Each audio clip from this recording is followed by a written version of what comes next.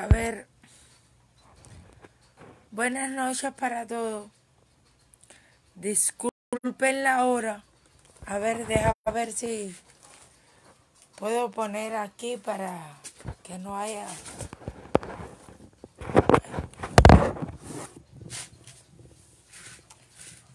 Buenas noches para todos. Primero que nada, quiero disculpar la hora.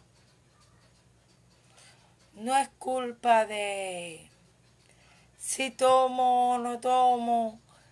La cuestión es, estuvo pésima mi conexión. Pésima. La seguridad del Estado tiene mi número. Lo controla, lo manipula. Felicidades. Pero no pueden manipular mis ideas. Me siento agradecida y quiero volverle a dar las gracias a todo el que ve esta directa por la campaña que están apoyando a Nie González. Vuelvo y repito que Anie González, mi amiga en lo personal, mi hermana de lucha, y mi hermana querida, porque me siento con la misma sangre que ella. Somos, tenemos una afinidad incomparable. Voy a hacer esta directa porque deseo, hay, hay, a ver, hay deseos que uno tiene y quizás nunca se logren, pero quizás se logren más rápido de lo que uno piense. Yo tengo 34 años de edad. Disculpen. El, el problema de la luz es que en mi casa hay un bajo voltaje que no es compatible, ¿no? Pero bueno.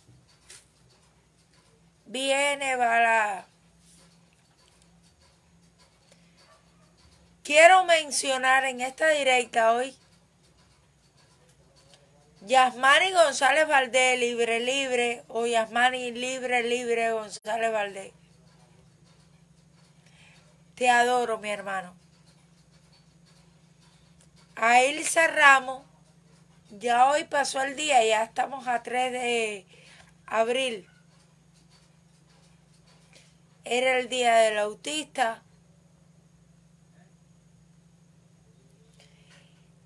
Es difícil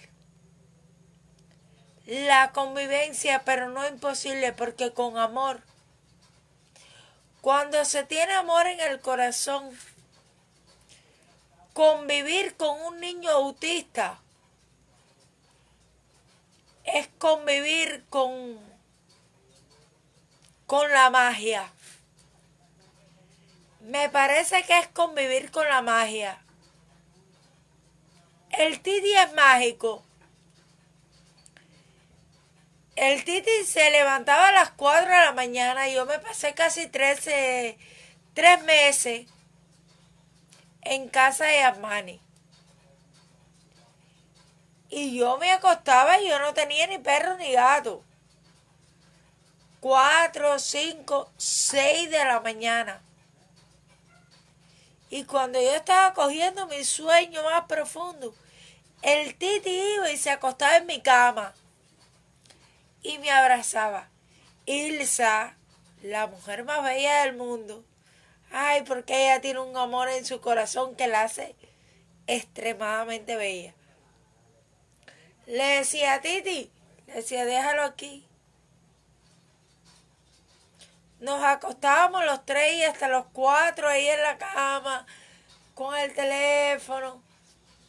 Y, y dedicándole el tiempo a él. Son niños especiales los autistas. niños realmente especiales. Pasé unos meses espectacular con esa familia. Ahora que la vida del cubano en la dictadura es criminal, estoy de acuerdo. El cubano no tiene derecho. El cubano no tiene vida. El cubano sobrevive a la dictadura. Siempre lo he dicho y lo voy a seguir diciendo. Lo único que a mí me duele es el silencio del pueblo. A ver, tampoco critico al pueblo porque son 64 años de dolor, de sufrimiento, de golpe, de tortura. Y quizás, a ver, porque eh, si vamos a hablar, si vamos a hablar para criticar, podemos criticar. Yo estoy dentro de Cuba. Yo le puedo decir al pueblo cubano que son carneros. Y me falta ese valor para decirle carnero. ¿Saben por qué? Porque estoy dentro. ¿Y porque he vivido el terror? Que yo como persona me he sobrepuesto a ese valor. Eso no me hace más, ni me hace heroína. Yo no soy heroína, yo soy una más. Eso me hace comprender que mi pueblo sufre, que mi pueblo está esclavizado. Hay, muchas personas en el exilio sin querer criticar al exilio. Porque hay personas en el exilio que merecen más que respeto, más que admiración, más que pero muchas personas llegan y dicen, no, porque ustedes son carneros, porque no se manifiestan. Yo estuve en La Habana. Yo conocí muchas madres que tienen personalmente, que tienen sus hijos en cárceles. Madres que saben que a su hijo este círculo que ustedes ven en mi mano es lo que le dan de comida.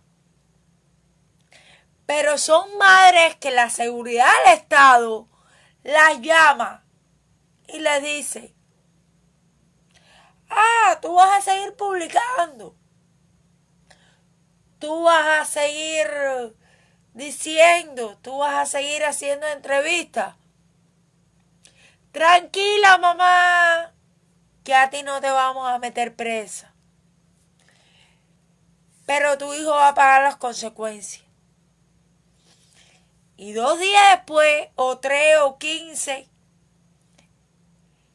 o la llama el hijo, o la llama un preso y le dice, me dieron una paliza. Llevo 15 días en una celda de castigo. Yo soy madre. Hay que ser madre entonces no se puede juzgar cuando no se está en la piel. Yo le agradezco el exilio y el apoyo, pero muchos del exilio critican. Muchos del exilio que hoy se manifiestan a favor de la libertad de Cuba gracias a esas personas pero muchos de ellos nunca estuvieron en un calabozo. Para mí estar en un calabozo es un castigo, es un campismo. A mí eso no me preocupa. Pero estar en una prisión muchas personas, todos, no tenemos el, a ver, la misma compatibilidad. Hay personas que llegan a un calabozo y se aterrorizan. Es un mal humor. Con tremenda peste. Es ver que te pasa un ratón de aquí para allá es ver que para tú pedir agua tienes que gritarle al calabocero. Y es crudo. Yo he estado en calabozo, para mí es campismo. Pero estoy segura que estar en una cárcel de los Castros es tenebroso. Porque los Castro no son dictadores. A mí nadie me puede decir que los Castro son dictadores, no. Eso no lo acepto. Los Castro son asesinos y son diabólicos. Eso sí. Pero dictadores no. Dictadora soy yo. ¿Qué te digo a ti? Vamos por aquí. No te cuadra. Coge tú por tu lado. Yo voy por el mío. Yo soy una dictadora. A mí si no me cuadra que tú hagas lo que yo digo, por donde yo voy o lo que yo pienso, yo, yo me considero una dictadora. Porque a ver, me adoctriné en el en una dictadura, pero vuelvo y repito, los Castro para mí no son dictaduras. Son asesinos, son diabólicos. Un día, hace muchos, hace como tres años, una publicación que hice de los Castro y hubo una señora, no recuerdo el nombre, si esa señora ve esta directa, le pido disculpas por no recordar su nombre. Ella puso, Castro era un bandido. Me insulté. Le escribí y le dije, señora, bandido era Robin Hood. No me ofenda a los bandidos. Castro es un asesino. Castro, bueno, a Castro, el cenicero de la piedra. No digo el nombre porque me da hasta asco pronunciar ese nombre. Es que quizás Lucifer, Satanás, el diablo, él se tiene que haber arrepentido la primera vez que ese cenicero llegó al infierno, porque de hecho está en el infierno. Tiene que haberse arrepentido, porque debe estar suplicándole a Dios mil perdones por lo que hizo, para no estar al lado del cenicero de la piedra. Yo en la otra directa que hice tomada el otro día, dije, y no me arrepiento. Candela la bandera del 26 de julio. Vuelvo y lo repito.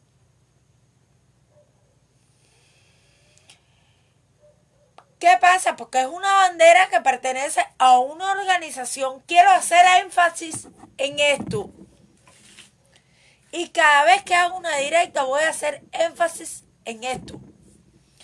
¿Por qué? Porque tengo la razón. La bandera del 26 de julio es una bandera terrorista.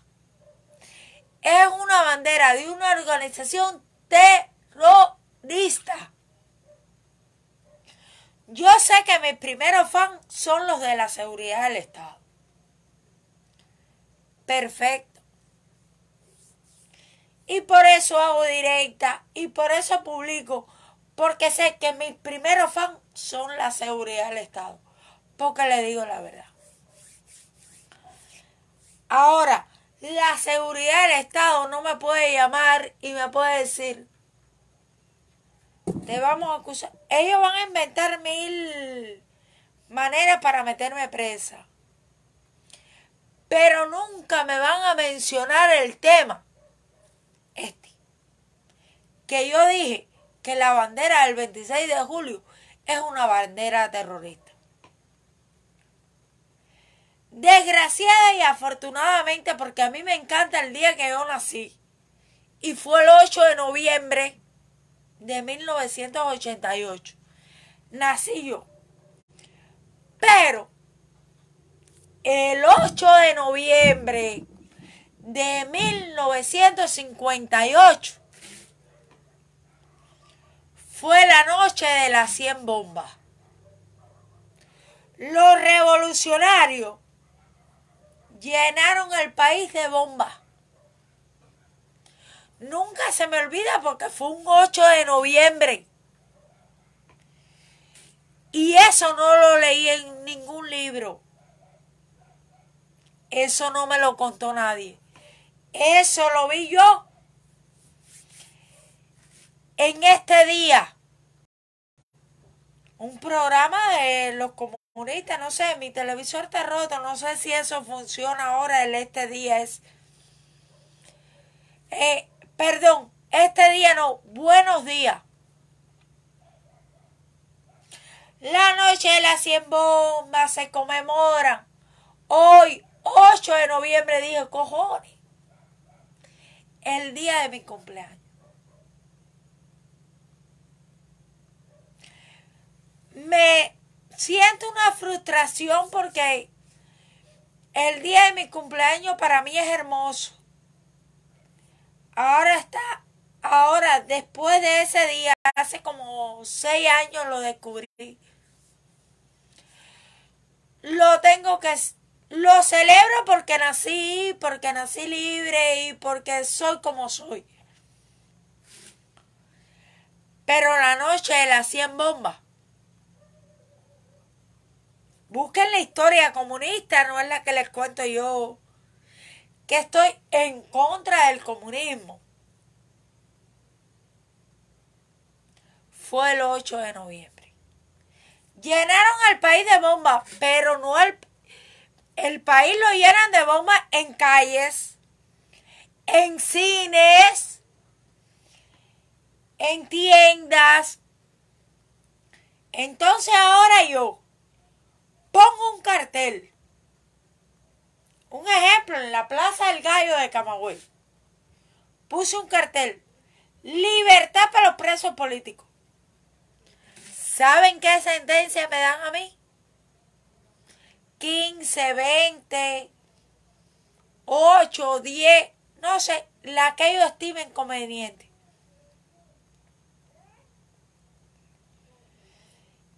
Y los del movimiento 26 de julio asaltaron un cuartel pusieron bomba, tomaron un hospital militar que se deleitaron en el militar que estaba enyesado, que no se podía mover, ellos le daban un tiro y los mataban. Eso hicieron esa gente en un hospital militar a los indefensos.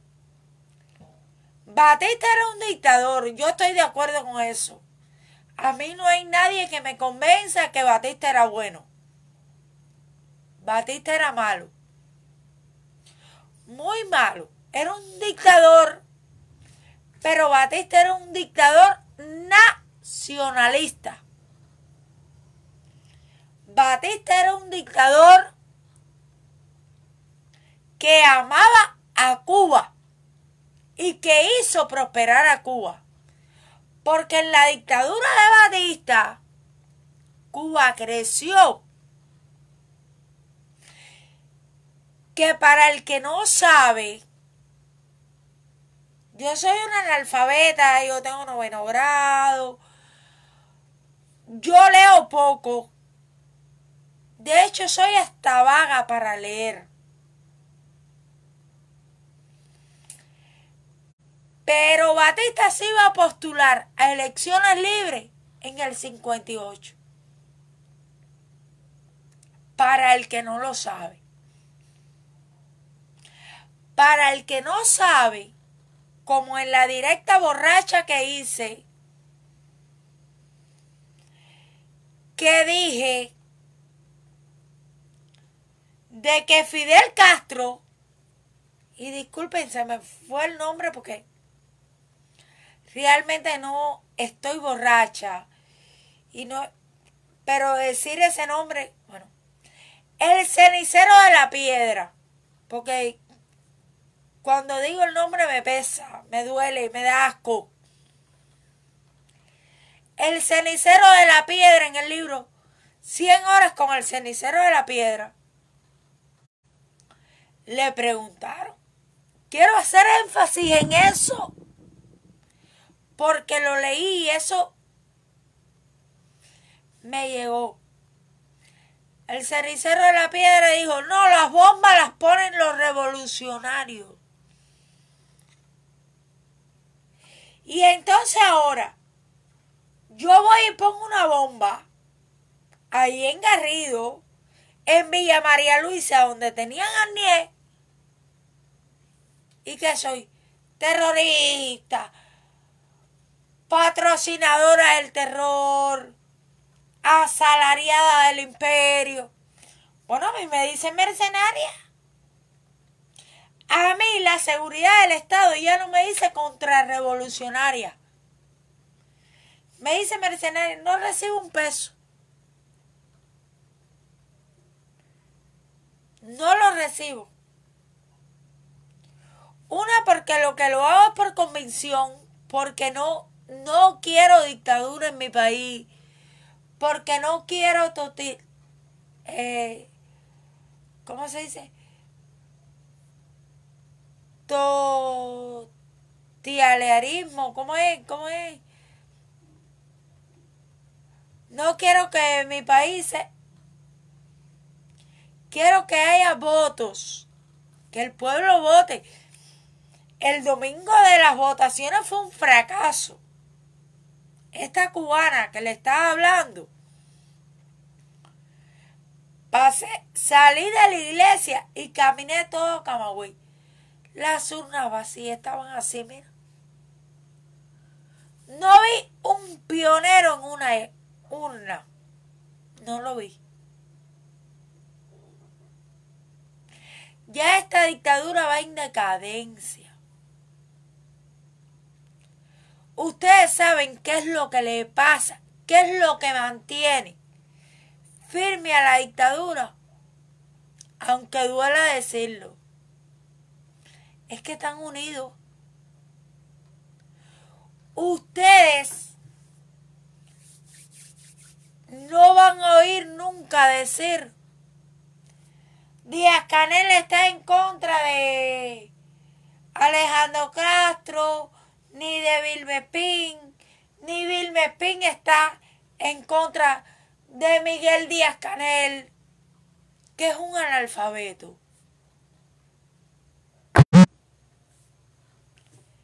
Perdón, me había entrado una llamada que la voy a atender después. Disculpe. Pero nunca van a oír eso. ¿Por qué? Porque entre la cúpula se protegen a proteger siempre. Ah, espérate que el cigarro te queda. Ellos siempre se van a proteger. ¿Qué pasó con el Hotel Saratoga? Bueno, no voy a hablar mucho, ¿saben por qué?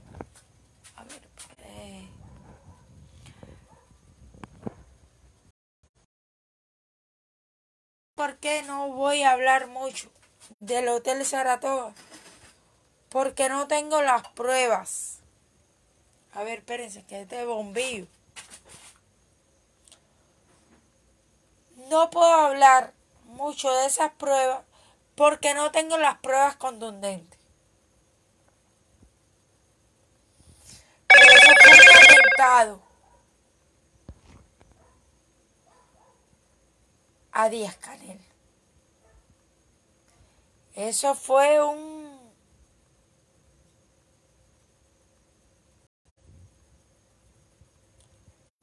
Pero ellos se cuidan. Oposición cubana, vamos a cuidarnos.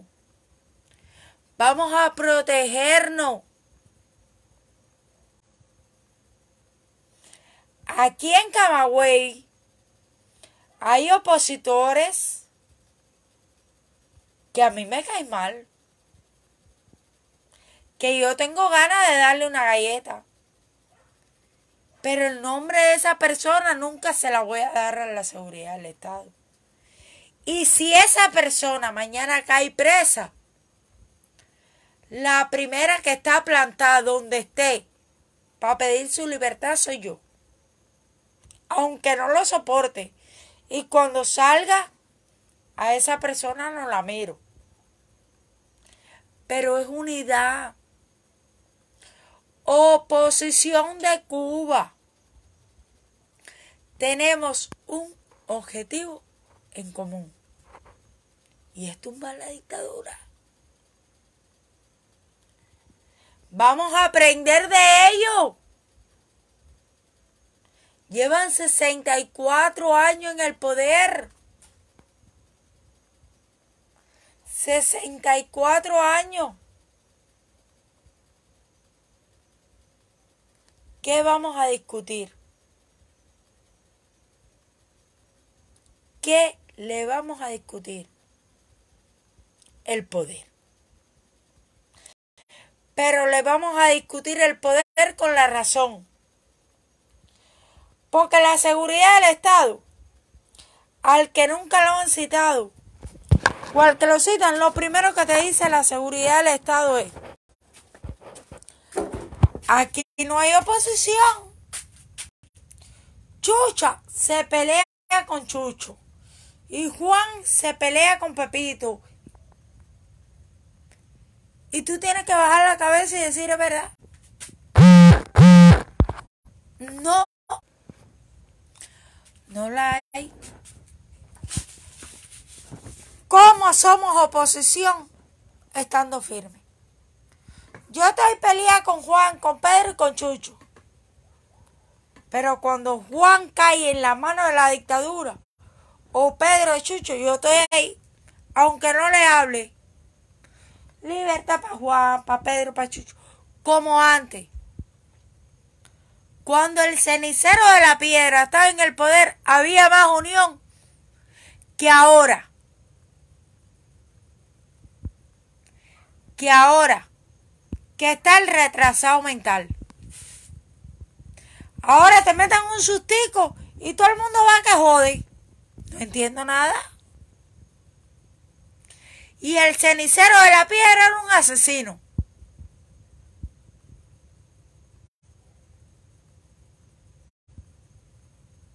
¿A dónde vamos a llegar? José Martí luchó, luchó, luchó por la unión. No lo logró a la plenitud, pero hizo lo máximo. Vamos a unirnos todos. Vamos a olvidar los rencores. Cualquier persona que diga abajo la dictadura, estoy en contra del régimen, que se enfrente. Ese es tu hermano.